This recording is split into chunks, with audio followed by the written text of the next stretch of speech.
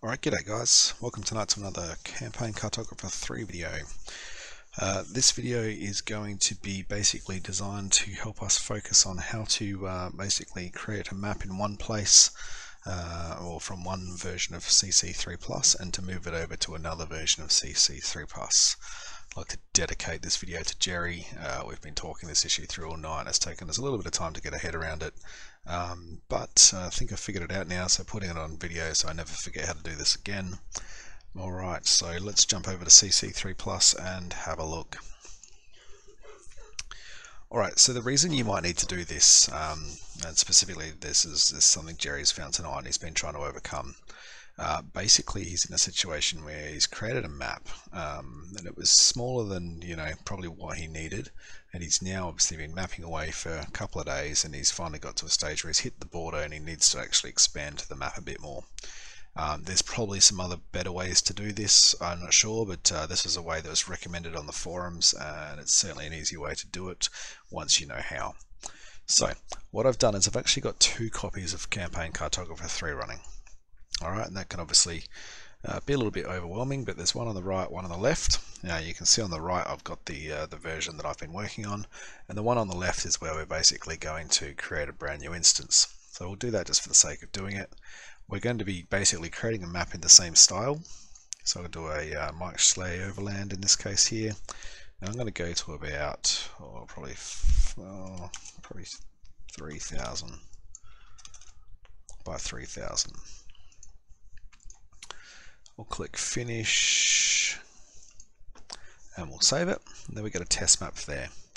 Okay, then we can go back onto our original. And what we want to do is we want to use the copy tool. So we can come up here to the copy tool. What I'm going to do is I'm going to right click and go copy to clipboard. And then what we're going to do is we're going to basically copy all the entities in the map, but I'm not including the border in this case, so I'm just including everything that's actually inside there. So I'm going to click and drag, uh, you can see it highlights everything. Then we right click and click do it. And this is the bit that stumped me literally for the last half an hour. Click and drag just a little bit, just a tiny little bit. Uh, I'm going to not save now. Then we can come over here and go edit, paste. And we can see that that has gone to the clipboard. And we can paste that down. And we can actually paste as many copies as we want. Alright, once you're done you can press escape and then using this we can basically uh, we can zoom in and we can see that we should now have two copies of it. Alright, so let's just run through that again because this can be a little bit funky I found. We're going to the copy tool, we're right clicking, we're going copy to clipboard, then we're going to highlight the bits that we want to copy, going to right click and click do it, the important bit, click, drag a little bit, just a tiny bit, just until that disappears. Then we go back over to edit and click paste in the new instance. And there we go. And we can probably do some funky things like hold down control and increase the size of it as well. And yep, that sure works. Alright, so it's one of those things with Campaign Cartographer 3 that it's probably difficult to figure out the first time you do it just because, you know, it can be a little bit uh, weird the way you click things sometimes and set things off. Uh, but once you've done it one or two, three times, it's actually quite simple. Um, and then obviously using this, um, oh, I'll probably click this button here. Just this uh, show all is a really handy button, by the way.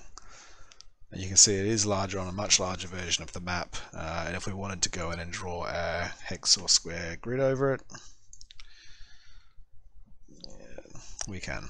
Alright, and then that'll obviously put the grid over the rest of the map. So that's probably one of the easiest ways to expand the size of your map. Um, I'm researching some other ways and I'll make some videos once I figure those out.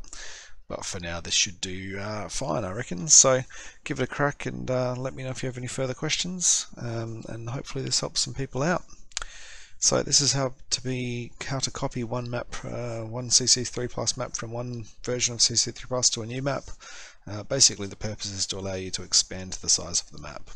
I hope this has helped. Um, if you've got any questions, please leave them in the comments below. If you do find these videos useful, please do feel free to subscribe. and you'll be notified when I release new videos. Alright guys, thank you and have a good night.